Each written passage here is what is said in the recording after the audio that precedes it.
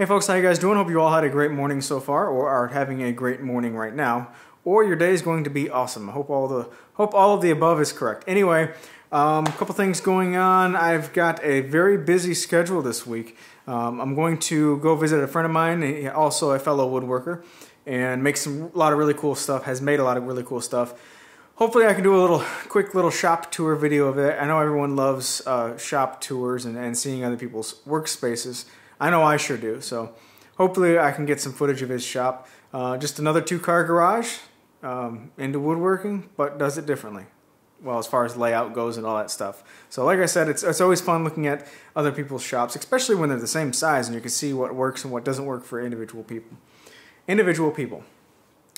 Uh, also, um, Instagram. If you guys aren't following me on Instagram and are following me on one of the other social media networks, I pretty much don't update any social media networks other than Instagram. It's just it's just so easy and it's fun. Just quick little pictures here and there. You don't have to scroll through all of the nonsense that's on Facebook. Nobody even checks Google Plus. I don't think hardly just a few people do Google Plus. That was like a failed social media thing. And then um,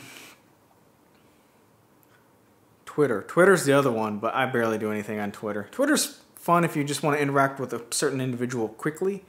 Um, that's what I find most interesting about Twitter, but for just social media interaction globally, it's not really that much fun. So, uh, check out my Instagram page for a lot of uh, pictures through the weeks as far as what I'm building and, and all that stuff. There's a lot of stuff that I post on there that doesn't make it to any other place, and you can see updates on projects. So, there's my little sales pitch for Instagram. Also, I've got t-shirts on my website. If you click on the store button at the top, you can get one of these t-shirts. Finally got that taken care of.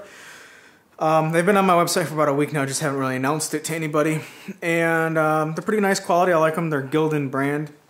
And if you don't want to buy a t-shirt, then that's totally cool as well. Uh, details on the cabinet, the um, dartboard cabinet. Let's take a little walk really quick. The dartboard cabinet is actually one of those projects that, ah, just ran into the tail vise in me bum. That hurt. Okay, so the dartboard cabinet ended up being one of those projects that uh, me and my wife actually use quite a bit. I didn't think we'd use this that often, but here playing around here in the shop uh, about once a night, me and my wife come out here and shoot darts. So uh, it's a lot of fun to actually just have this little thing, and it's it's cheap, long-term fun. So most of the time, you know, you go out to the movies or you go see or you go do this and it costs money, and you go do this and it costs money. Me and my wife like things that are one-time purchases. So Darts, I made the cabinet. It's all done. It's purchase, or all the expense is already done, and it's continuing fun. Uh, we play Sorry, the board game Sorry. We play Sorry while we eat just about every night for the past, shoot, five years now. So cheap entertainment. But anyway, this this whole cabinet is super simple and easy. Turned out great, and uh, there it is. Yeah. Um, the the dart holders, I didn't go into detail on these hardly at all. These are just rectangles. That's literally all it is. It's a rectangle of sapele, end grain facing up and down, and two screws, two holes drilled right here for screws to attach it to the board, and then three holes in the top. Oh, it's a rectangle of sapele with five holes. That's all there is to it. As you can see, uh, we've already got one dart casualty. Um, that didn't stick to the board, bounced out, and broke the little end thingy. Technical terms here, the end thingy. I know someone's going to correct me here whatever these are, broke off. But these are just cheap darts. This is just a cheap dart set that the darts came with, dartboard set that the darts came with. And the, as you can see, the clipboard's not here because I've been using the clipboard for other stuff. So uh, I thought that I would use this a lot for scorekeeping, but ending, uh, what ended up being the case is we never use it. My wife's got a uh, dartboard scorekeeping app on her iPad, and we use it to keep score. You know, it's 2016. It's the digital age. No one wants to take time to write stuff down. Uh, but yeah, we haven't used it, and I think I'm just going to make a little chalkboard somewhere. And as you can see, I got a couple signatures in here.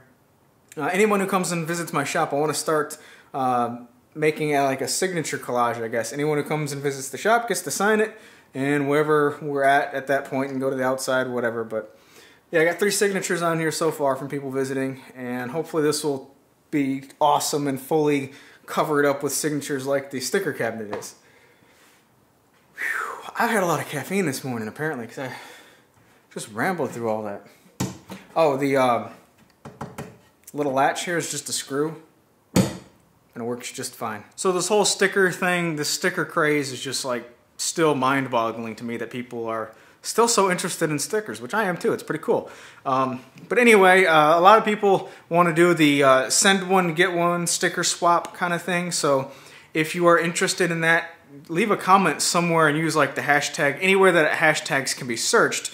But use the hashtag stickers, sticker swap and that way you can more easily be found to switch and change stickers and all that stuff. I frequently get asked of any, if I know of any other people who are um, doing the sticker swap thing. So if you are interested in swapping stickers with other people, use the hashtag sticker swap or something. That way it'll be a little bit easier to find. Speaking of stickers, I've got a bunch of new stickers to put up on the small cabinet as well as a bunch of duplicate stickers from the large cabinet, which is completely full of stickers to put up on the smaller sticker cabinet, the smaller rolling sticker cabinet thingy. So, let's get those stickers put up. That's all I got for you guys this week. I'll talk to you in a couple days with a Tool Talk video and see you then.